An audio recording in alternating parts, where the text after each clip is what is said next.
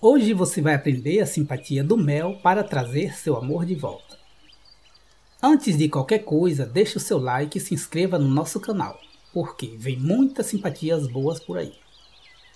Como você já deve saber, o mel é um dos ingredientes mais usados nas magias de amor. Por isso, trazemos uma simpatia poderosa de mel para te ajudar a recuperar o seu amor. Para começar, pegue um pedaço de papel e escreva o nome do seu amor. Em seguida, coloque este papel em um pires ou um prato. Despeje o mel em cima do papel com o nome da pessoa e deixe por 30 minutos. Em seguida, retire o excesso do mel. Deixe só o papel melado. Retire do prato ou do pires e coloque o papel em um lugar na sua casa, que bate o sol e deixe secar. Quando o papel estiver bem seco, pegue o papel e guarde dentro de um livro ou de preferência em um álbum de fotos de vocês. Você deve manter este papel no livro ou num álbum de fotos até seu amor voltar, ou por no máximo 21 dias.